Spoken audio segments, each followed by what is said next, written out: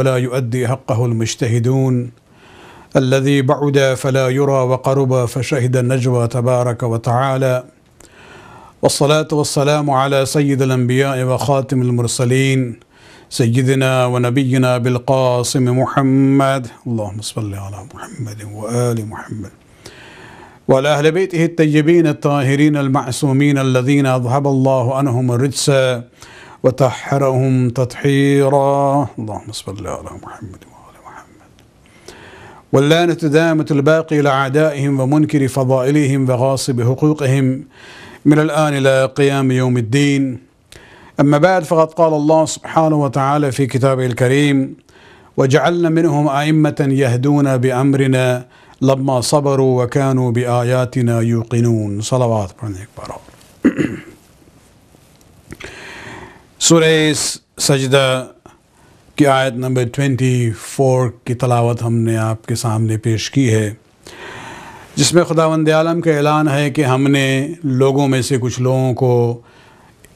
इमाम और रहनुमा और हादी बनाया है। और उनका मकसद क्या है? यहदून अब अमरिना, कि लोगों की हिदायत करते हैं हमारे हुक्म और हमारे फ़रामीन से। और क्यों खुदावंद आलम ने कुछ लोगों में ये सलाह, ये मनसब दिया है, कुछ दूसरों का नहीं दिया है?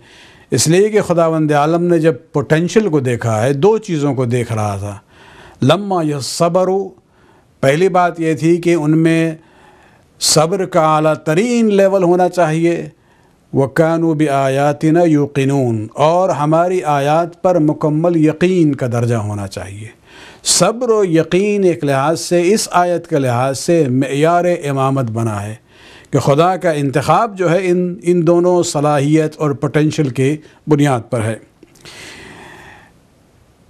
गुज्त दो गुफ्तु हमारी इमाम ज़ैनबिन सलाम के सिलसिले में थी, जिसमें हमारी कोशिश थी कि जो लाशूरी तौर पे कुछ लोगों में जो तस्वुर है कि इमाम जो हैं आबिद बीमार थे, यकीनन उस टाइम के लिहाज से, उस मौके के अतबार से आशूर से कुछ पहले और आशूर के कुछ बाद इमाम यकीनन बीमार थे।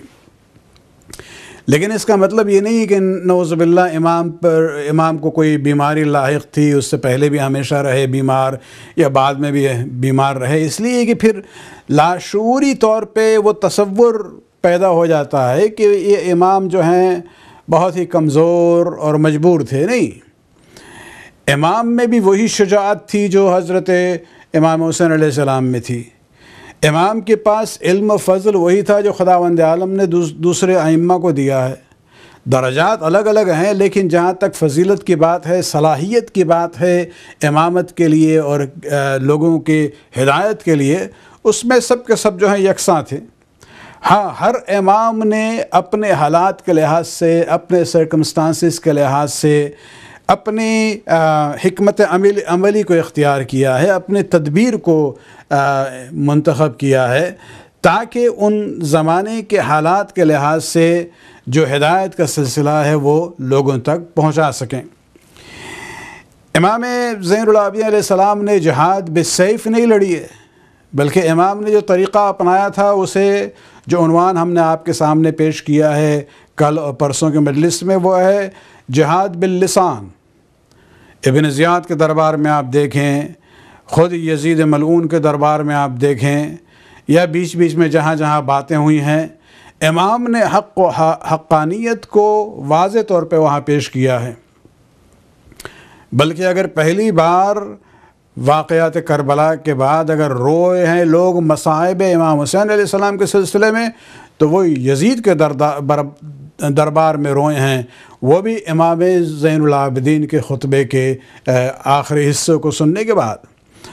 तो ये एक बहुत बड़ी कामयाबी थी जो इमाम ने हासिल की है कि ख़ुद यजीद के दरबार में हुसैन इबन अली के मजालिम पर शामी मजमा ख़ुद जो है रो पड़ा है। सलावात पढ़ दें एक बार और।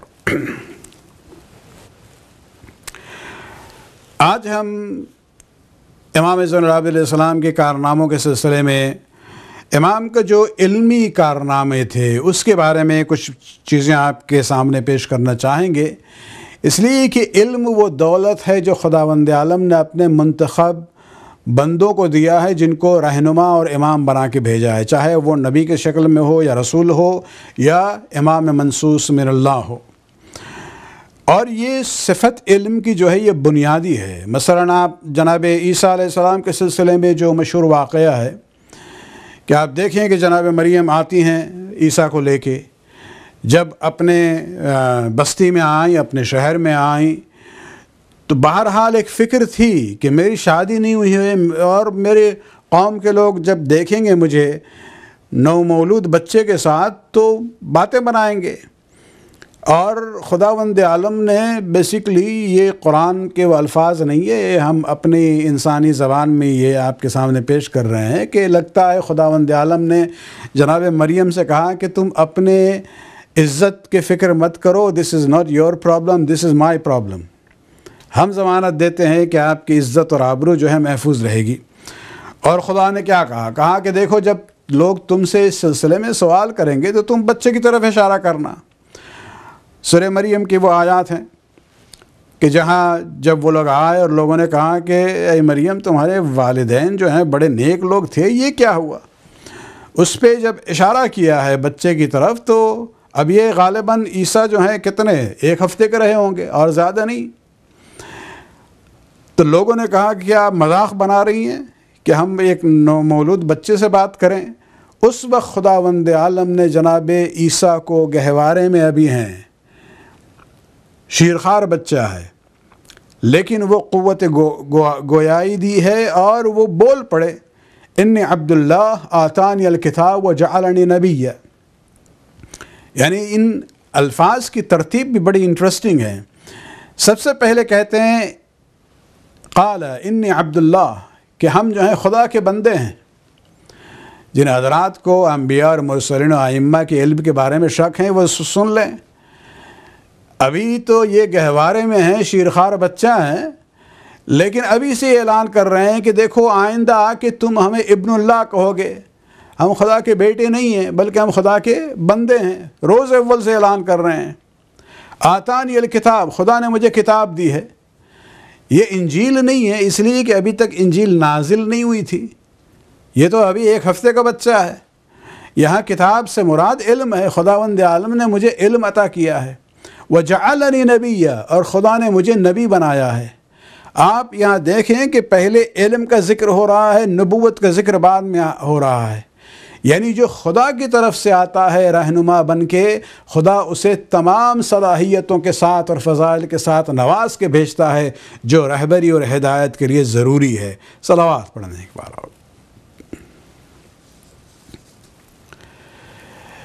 इसी सिलसिले हिदायत की एक कड़ी है इमाम जैनलाम वाक़ात करबला के बाद शिया कौम बहरहाल मोराल के लिहाज से टोटल डाउन थी। और इमाम ने जो अपने बाबा के पैगाम को फैलाने की बात की, उसमें एक और अहम बात ये थी कि किस तरह से इस कम्युनिटी को मुतहद किया जाए।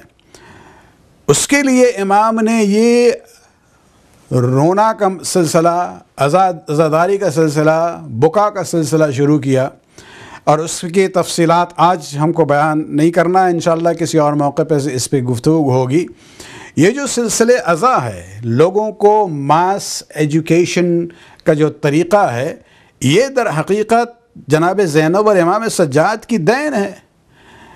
और ये अज़ा के ज़रिए, रोने के ज़रिए जो है, एक लिहाज से शिया कौम को हुसैन इबन अली के पैगाम से करीब ले आए हैं। इसलिए कि जो जज्ब, वो जो एमोशनल जो अटैचमेंट होता है, जज्बाती जो ताल्लुक़ होता है, वो बहुत ही मज़बूत होता है। उसके बाद फिर आप अकली ताल्लुक़ की बात कर सकते हैं। लेकिन उसके अलावा जो इमाम ने काम किया था, वो है इल्मी कार, कारनामा। यानी शिया कौम के मालूमती लेवल पर को बार और बालातर लाया जाए, ताकि वो अपने दीन और दीन के मफाहिम से वाकिफ़ हों, अपनी ज़िंदगी को बेहतर बना सकें, दूसरों के सामने अपना दिफा कर सकें। और इस सिलसिले में ये ये जो दरसगाह की बात होती है, एजुकेशन की बात होती है, फॉर्मल तरीक़े से अगर पूछा जाए तो इसकी बुनियाद इमाम जैनआबदीन ने रखी है। ये बात सही है कि हम लोग कहते हैं कि हमारी फ़िक जो है, फ़िक जाफ़री है। लेकिन हमें देखना चाहिए कि ये एक वैक्यूम में ये डेवलपमेंट्स नहीं हुए थे, बल्कि बुनियाद रखी थी इमाम जैनआबदीन ने। उसको मज़ीद आगे बढ़ाया है इमाम मोहम्मद बाकर सलाम ने, और ये सिलसिला उरूज पे पहुँचता है इमाम जाफ़र सलाम के ज़माने में। सलवात पढ़ने एक बार और। तो ये फ़िक और इल्म की बुनियाद जो है, ये चौथे इमाम ने रखी है। मसलन, जहाँ तक दर्स की बात है, तदरीस की बात है, तरबियत की बात है, जो रवायात हम लोगों को मिलती है मुख्तलिफ़। सईद बिन अलमुसैब की रवायत है कि हर जुमे के दिन, शाम के वक्त, इमाम मस्जिद नबी में जाते थे और अपने असहाब को जमा करते थे और ख़ुतबा बयान करते थे। यानी ये वीकली फ़ंक्शन था इमाम का। कि हफ़्ते में एक बार कम से कम जो है लोगों को मस्जिद नबी में जमा करते थे और अपने खुतबे के ज़रिए उनकी तरबियत फरमाते थे। एक और मिसाल आप देख लें जनाब अबू हमज़े शुमाली बहुत ही वफ़ादार और साहिब इल्म सहाबी हैं इमाम जैनलाम के। और ये ये जो है दर हकीकत इनकी एक रवायत बड़ी इंटरेस्टिंग है। वो लिख, लिखते हैं कि इमाम सज्जाद जब जुमे के दिन शाम के वक्त मस्जिद में ख़ुतबा देते थे तो अक्सर हमारे असहाब जो है, अपना कलम और कागज़ लेके जाते थे और इसे नोट करते थे। और अगर हम या कोई और अगर वहाँ नहीं थे तो हम अपने साथियों से जाके उनकी उस कापी को देखते थे और उसको हम नोट करते थे। बल्कि अबू हमज़ शुमाली की ये भी रिवायत है कि हमें दूसरों से जब हमने नोट किया है तो फिर हम ख़ुद इमाम की खिदमत में जाते थे और उनके सामने पेश करते थे कि आप ये देखें कि इसमें भी कोई असलाह की ज़रूरत है या ये सही है।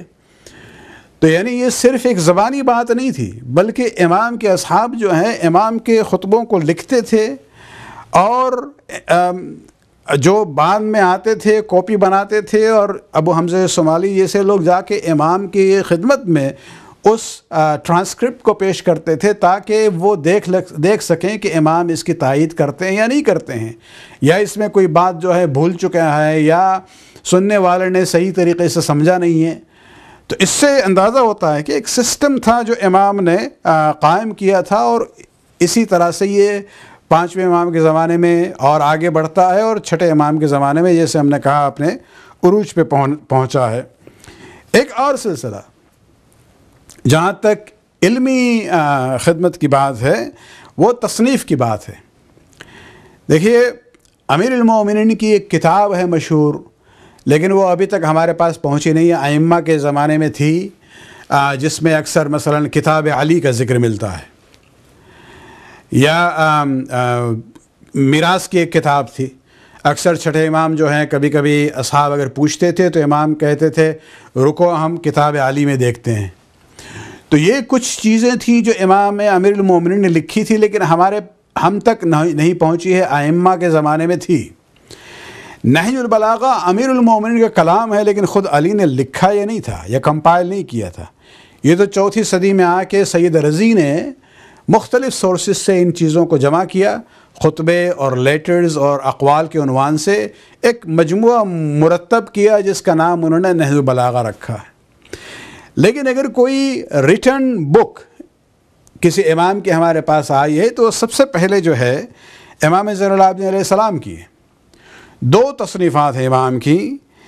एक मुख्तसर है, उसका नाम है रसालतुल्हक़ूक़ और आज हम चाहेंगे कि यही दो तसनीफ़ात जो इमाम की हैं उसको आपके सामने इंट्रोड्यूस करें ताकि हमें अंदाज़ा हो कि इमाम ज़ैनआबिदीन का कंट्रीब्यूशन हमारे कौम की बका के लिए कौम के इल्मी सतह को बढ़ाने के लिए बहुत ही अहम रहा है और खसूस बहुत ही हसास दौर में इसलिए कि ये वाक़ात करबला के, बा, के बाद का दौर था। सलावात पढ़ने एक बार और।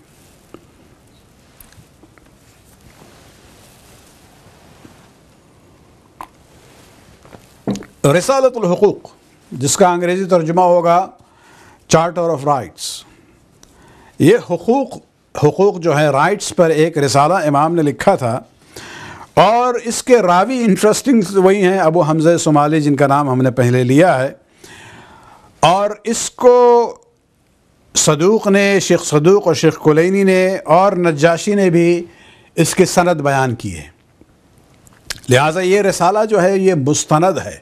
इसमें कोई शक व शुबे गुंजाइश नहीं है। हाँ उसके बाद वाली एक मशहूर किताब है तोहफ़ुलक़ूल जिसमें इबन शो, शोब हर्रानी ने उसको, उस रसाले को भी लिखा है, लेकिन उन्होंने हवाला उसमें सनत का नहीं दिया है। लेकिन ये रसाला इतमान के साथ ये चौथे इमाम का रसाला है, और इसमें इमाम ने फिफ्टी राइट्स का ज़िक्र किया है, पचास हकूक़ का ज़िक्र किया है। अलबत् जब राइट्स की बात होती है तो ये जहन में रखना चाहिए कि ये फ़िकी किताब नहीं है। It's not a legal document this is more a moral ethical document of Imam Zainabidin इसमें ज़्यादा जो है, अखलाक़ी पहलू से चीज़ों को देखा देखा गया है। मसला इसमें सबसे पहले हक़ जो है, खुदावंद आलम का ज़िक्र होता है। उसके बाद ख़ुद इंसान के अपने हकूक़ का ज़िक्र होता है, जिसमें तकरीबन सात हकूक़ का ज़िक्र है। उसके बाद इबादत का हक़ हम पर क्या होता है? जैसे नमाज़ है, रोज़ा है हज है, ज़क़़त है, उसमें भी तकरीबन पाँच हकूक़ हैं। और उसके बाद गवर्नमेंट और अथॉरिटी, यानी अगर माशरे में कुछ लोग हैं जिनको आप पर बरतर, बरतरी दी गई है तो उस मसलन टीचर के उनवान से और इसी तरह से अगर हाकिम की बात होती है उसमें भी तकरीबन पाँच हकूक़ का ज़िक्र किया है इमाम ने।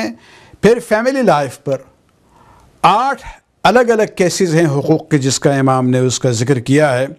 कम्युनिटी में जो मुख्तलिफ़ रिलेशनशिप इंटरेक्शन होता है लोगों का उसमें तकरीबन दस हकूक़ को इमाम ने आ, लिखा है। फिर जहाँ तक तजारत work place and business life की बात है, उस उस सिलसिले में भी इमाम ने तकरीबन आठ सिचुएशंस का ज़िक्र किया है, आठ हकूक़ वहाँ लिखे गए हैं। और फिर माशरे के बारे में society at at at large in general जिसमें एंड होता है कि गैर मुस्लिम के हकूक़ मुसलमानों पर क्या हैं, एक इस्लामी माशरे में। तो ये दर हकीकत एक moral code of moral and ethical teachings हैं इस्लाम के सिलसिले में।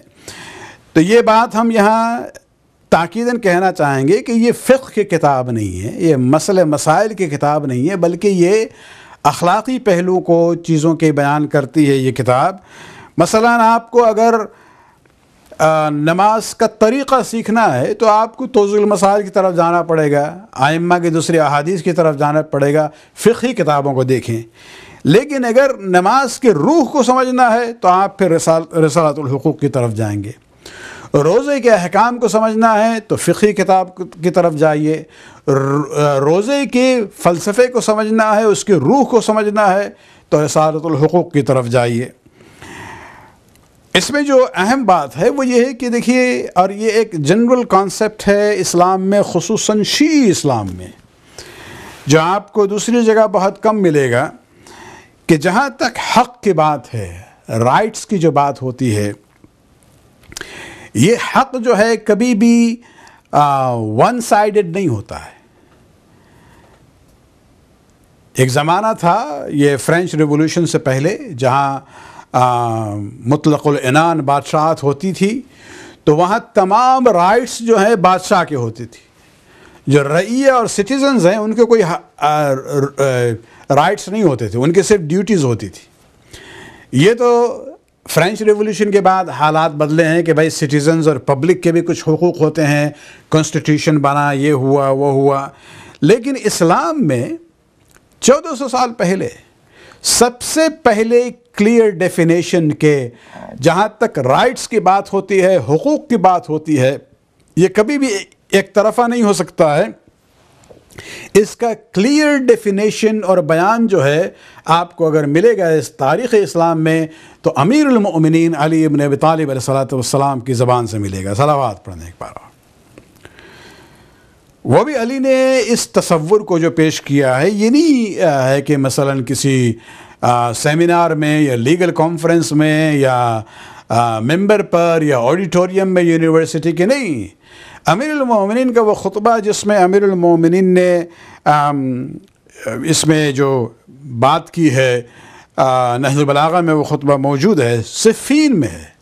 यानी जंग के हालात में भी अमीरमिन मौका तलाश करते हैं कि भाई अपने इल्म से उम्मत को मुस्तफ़ करें।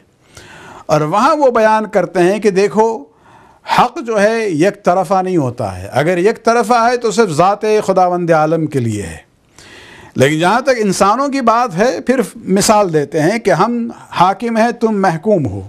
हम तुम्हारे रूलर हैं, तुम हमारे सिटीजन्स हो। फरमाते हैं, जितना हक़ मेरे पास है, मेरा हक़ होता है तुम पर, उसी की तरह तुम तुम, तुम्हारे भी कुछ हकूक़ हैं जो हम पर होते हैं।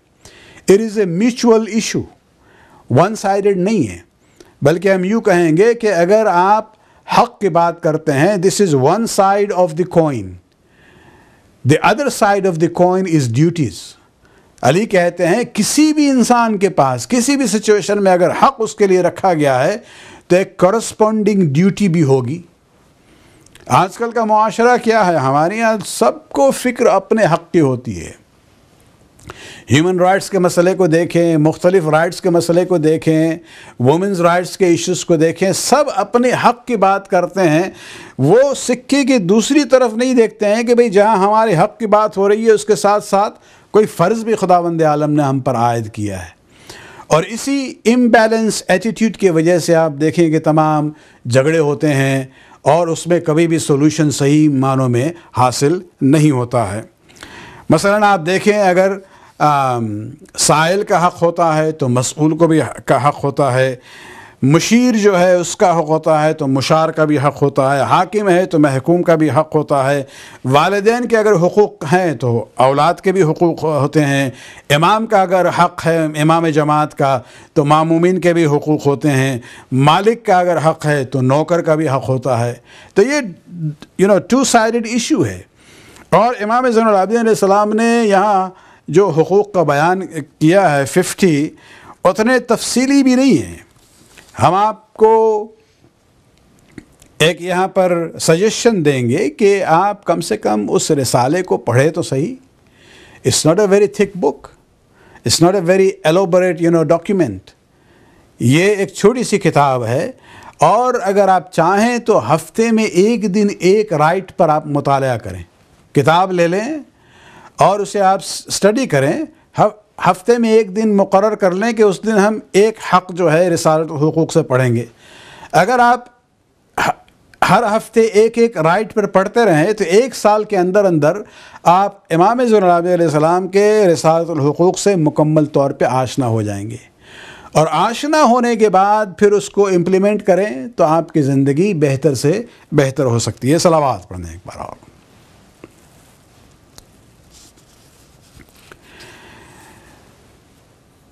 दूसरी तसनीफ़ इमाम की जो है, वो दुआ के अनवान से है। दुआ सहीफ़ सज्जादिया या सहीफ़ कामिला, जिस उनवान से भी आप जानते होंगे।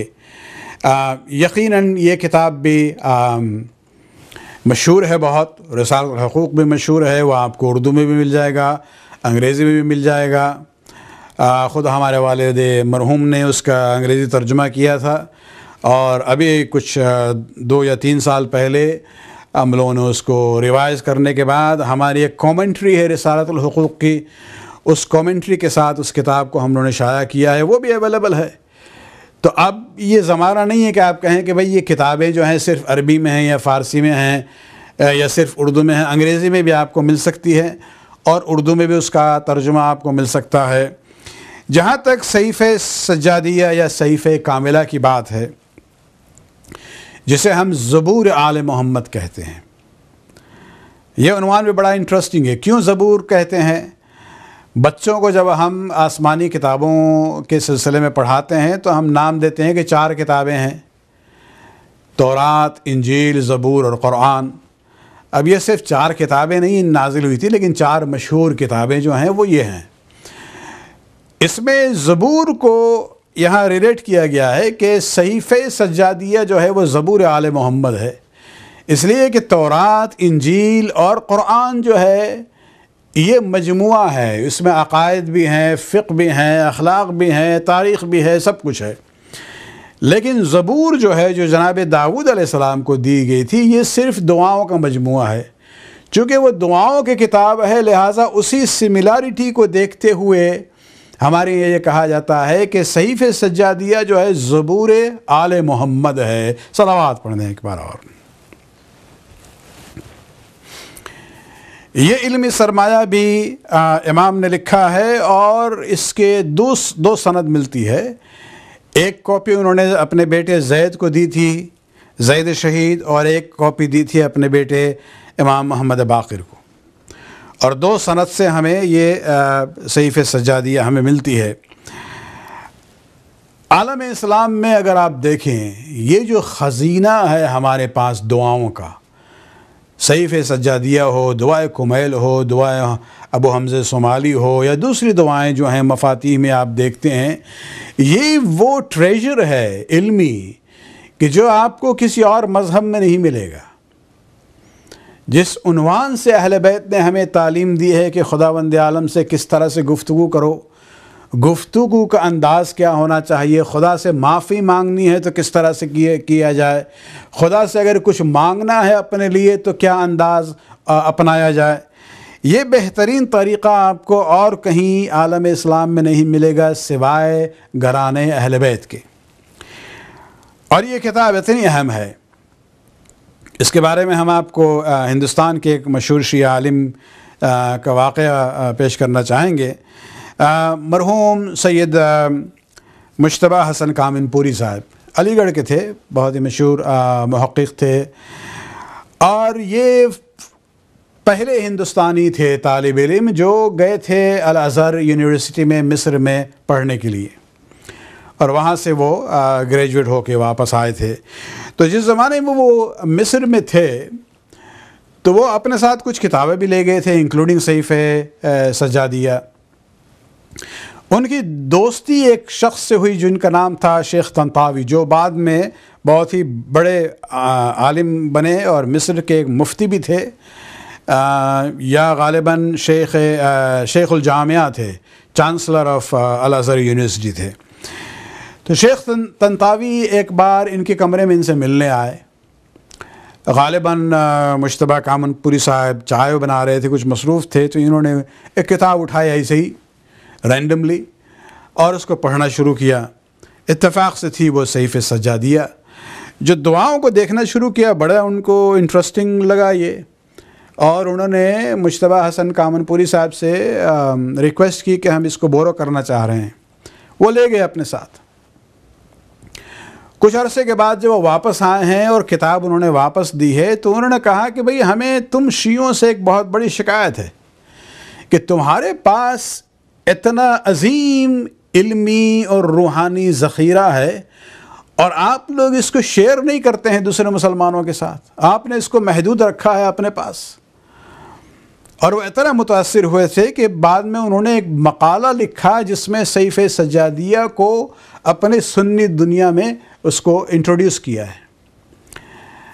और इसकी जहाँ तक अहमियत की बात है एतवार की बात है कि ये इमाम का कलाम है या नहीं, इसके बारे में सिर्फ़ एक मुकालमा आपके सामने पेश करना चाहेंगे, एक बार सलवात पढ़ दें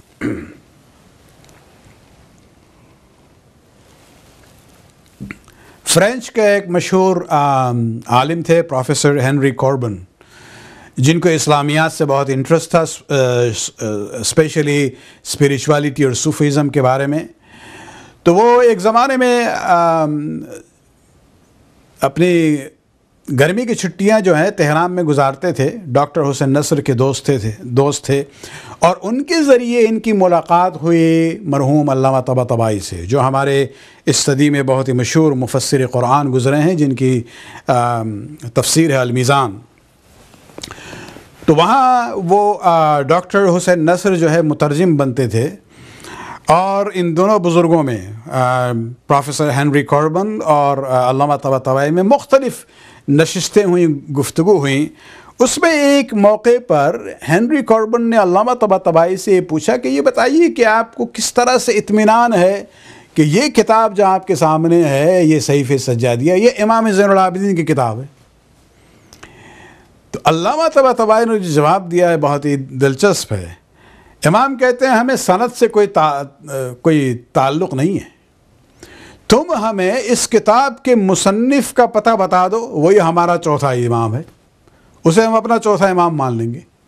यानी इतना भरोसा और अतमाद है कि ये यकीनन इमाम जैनआबिदीन का कलाम है।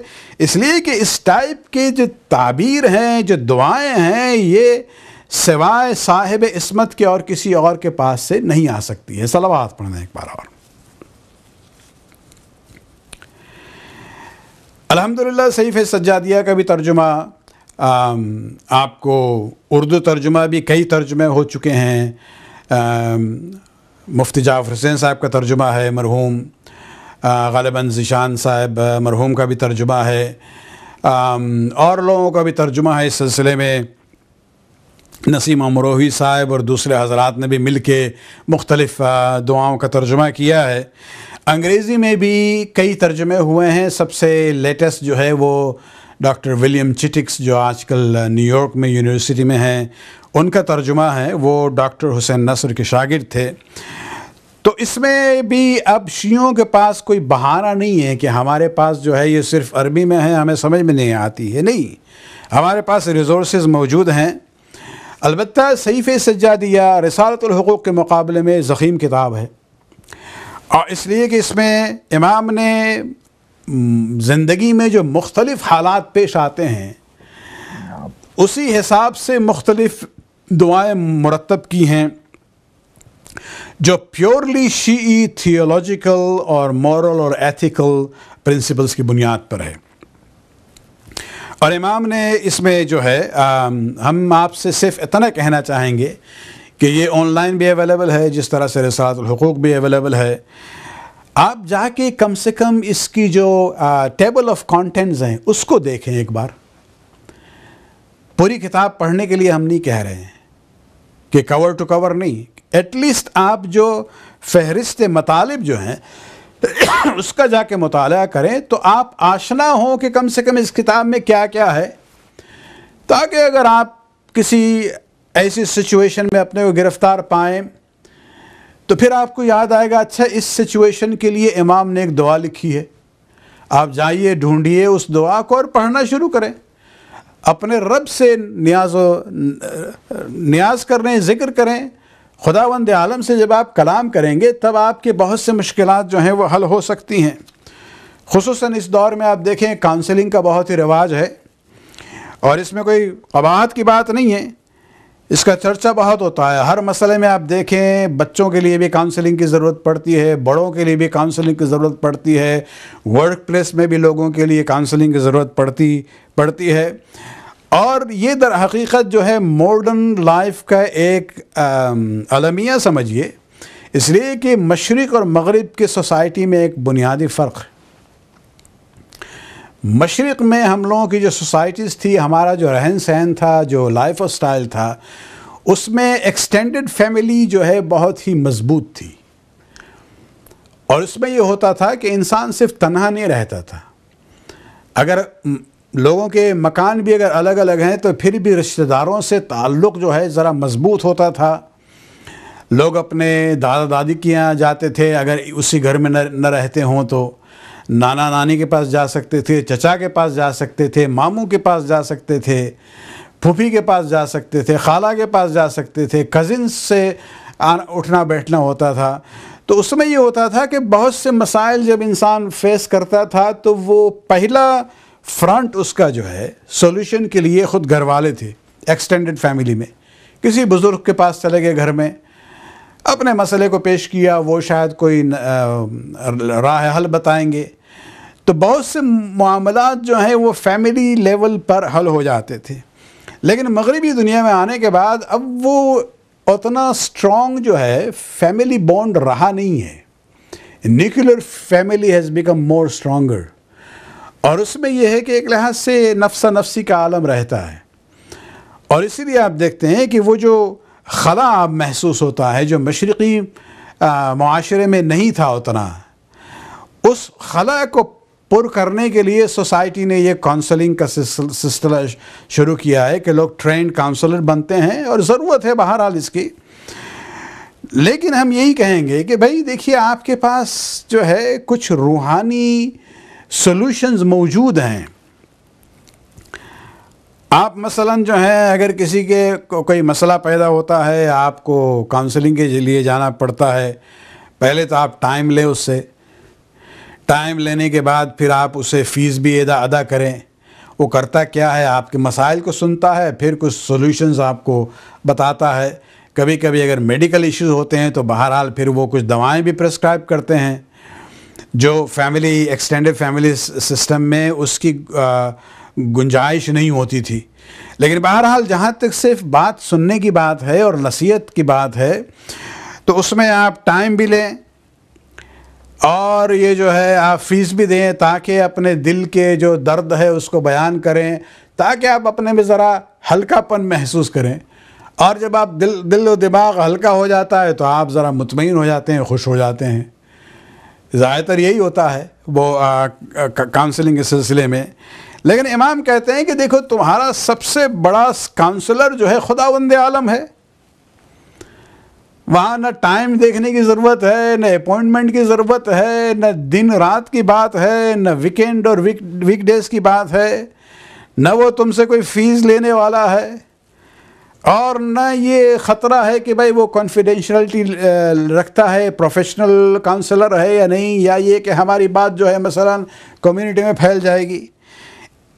आप जो है खुदा वंद आलम से राज व न्याज करें, अपने दिल की बात करें। खुदा वंद आलम अगर इंसिनसियरिटी के साथ आप खुदा से बात करेंगे तो खुदा वंद आलम ख़ुद ही आपके दिलो दिमाग में जो सुकून पैदा करेगा और जो राह हल आपके जहन में आएगा तो उसमें आप बहुत से मसाइल को आप आसानी के साथ हल कर सकेंगे। सलावात पढ़ने एक बार और।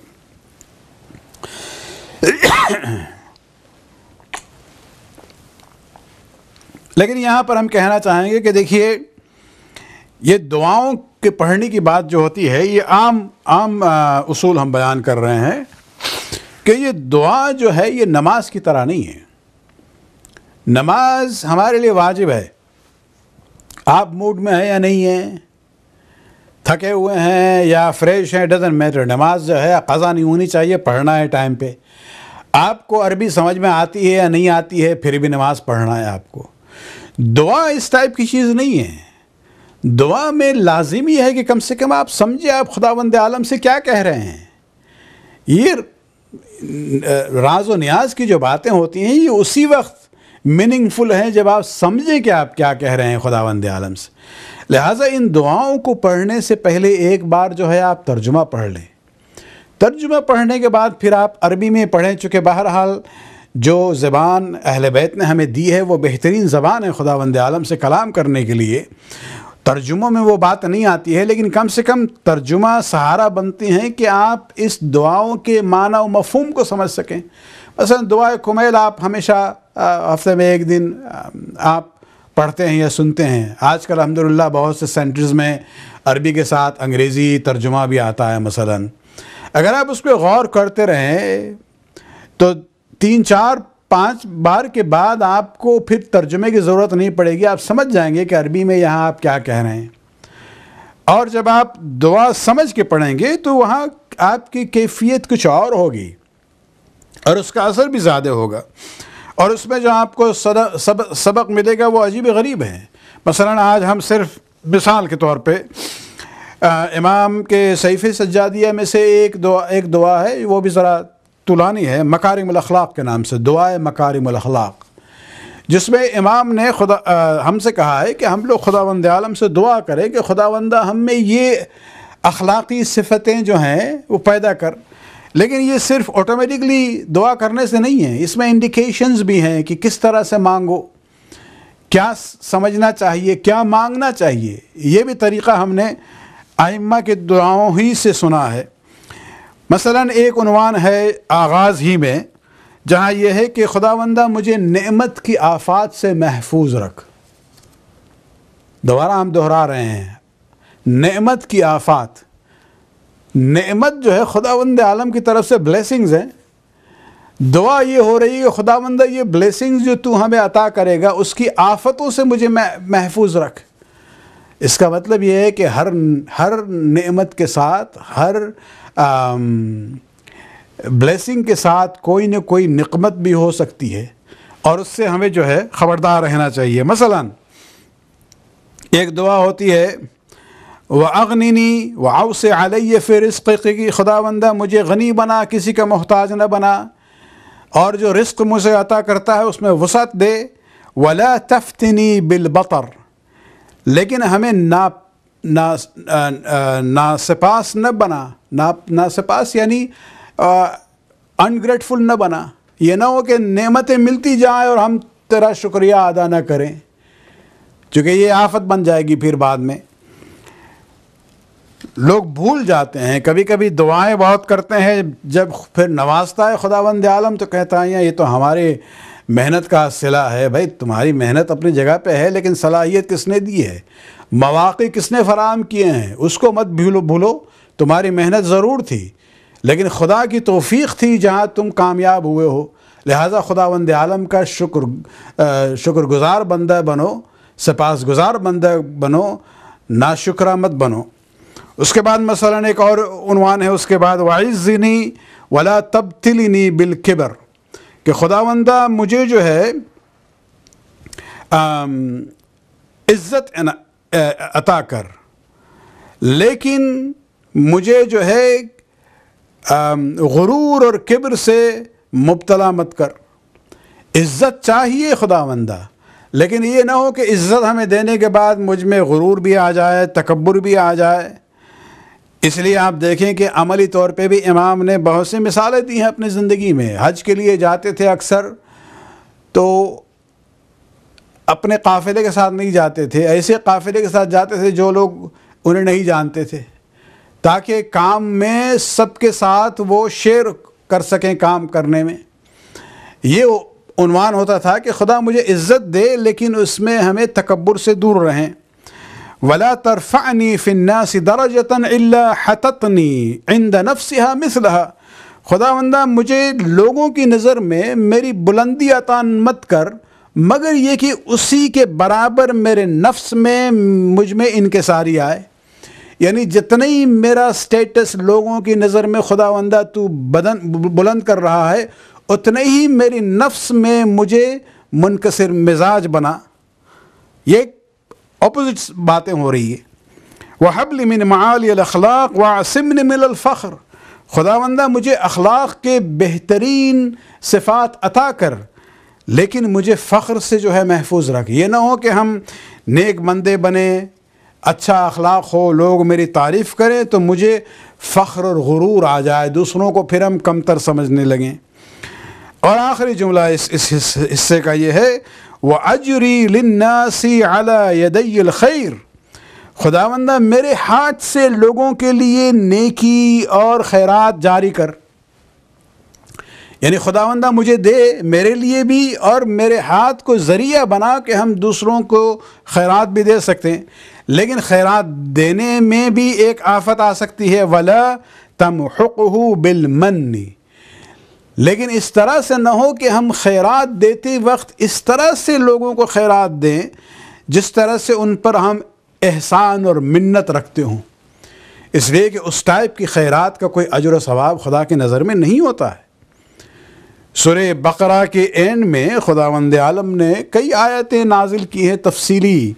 आयत 264 वगैरह के बाद अगर आप देखें जहाँ देखेंगे कि खुदावंद आलम ने खैरात के सिलसिले में कहा नहीं है कि तुम दो उतना कितना दो बल्कि उन आयात में खुदावंद आलम ने कैफियत पर ज़ोर दिया है कि जब तुम खैरात और सदक़ात देते हो तो देखो तुम्हारी नीयत पाक होनी चाहिए और खैरात और सदक़ात देने का अंदाज़ ऐसा होना चाहिए कि जो मुस्तक है वो जो है अप, अपने को ज़ीर मन्नत न समझे। जलील और खार बना के उसकी मदद न करें, बल्कि उसके इज़्ज़त नफ्स को भी आप बाकी रखें। एक उनवान है, मसलन हम लोग नमाज़ के बारे में सुनते हैं कि नमाज़ में ये काम किया तो नमाज़ बातिल हो जाएगी। रोज़े के बारे में है कि रोज़े की हालत में ये काम किया तो आपका रोज़ा बातिल हो जाएगा। हज में बहुत कुछ है, ये किया तो आपका हराम मसलन बातिल हो गया, या तवाफ़ बातिल हो गया। खैरात और सदक़ात के बारे में ये उनवान हम लोग सुनते नहीं हैं, जबकि खुदा आलम ने कुरान में कहा है, उसी सूर्य बकरा में। यादीन आमनु, ला तुबतिल सदक़ातकुम बिलमन वलअज़ा ऐ साहिबान ईमान, अपने सदक़ात को मिन्नत रख के और अजियत पहुँचा के तुम बातिल मत करो। यानी किसी की मदद आपने की, लेकिन इस तरह से की कि उस पर एहसान रख रहे हैं आप, जता रहे हैं आप, या इस तरह से दी कि उसे आप जलील व खार करके दे रहे हैं। खुदा कहता है, आपके सदका व खैरात जो है बातिल हो गया। उसका अजर सवाब खुदा नहीं देगा। तो इससे अंदाज़ा होता है कि ये जो दुआएँ हैं जो इमाम ने दी है, उसमें वाक़ इंसान अगर गौर व फ़िक्र करे, इस पर मेहनत करे तो उसको यकीनन अपने अखलाक़ी और रूहानी बरतरी जो हासिल कर सकता है, उसे एक बहुत ही नया उफ़ नज़र आएगा। न्यू विंडो इनटू स्पिरिचुअलिटी और ये दर हकीकत बरक़ात सईफ़ सज्जादी इमाम ज़ैनबिन सलाम सलावात पढ़ने के और। इमाम ने सिर्फ़ ये दुआ वगैरह जो बयान की हैं, ये सिर्फ़ अल्फाज नहीं हैं। इमाम अमली तौर पे नमूना थे सदक़ात व खैरात के सिलसिले में, कि अक्सर जो है रात के वक्त अपने कंधे पर रोटियों को ले लेके जाते थे बोरी में और तकसीम करते थे गरीबों के घर में, दरवाज़े पे। लेकिन चेहरे पर नकाब रखते थे ताकि उनके, उन्हें अंदाज़ा ना हो कौन दे रहा है। अक्सर जो है वो गरीबों के बच्चे जो हैं वो रात को देखते थे कि वो आ रहा है बंदा तो कहते थे, साहिबुल जराब आया। यानी वो शख्स जो नकाब पहने हुए वो आ रहा है। और इमाम की वफ़ात के बाद लोगों को मालूम हुआ अच्छा ये जो रात को आते थे वो थे, इसलिए कि फिर वो सिलसिला ख़त्म हो गया। हर मौसम के, के अख्ताम में चूँकि हर मौसम में लोगों के लिबास बदल, बदलते रहते हैं। गर्मी में कुछ और पहनते हैं सर्दी में कुछ और पहनते हैं। इमाम का एक तरीक़ा था कि जैसे मौसम ख़त्म हुआ जो लिबास इस्तेमाल किया था वो दे देते थे खैरात और सदक़ात में। उसको नेक्स्ट ईयर के लिए नहीं रखते थे। सर्दी का ज़माना आया फिर ख़त्म हो गया तो वो सर्दी के कपड़े भी फिर दे देते थे।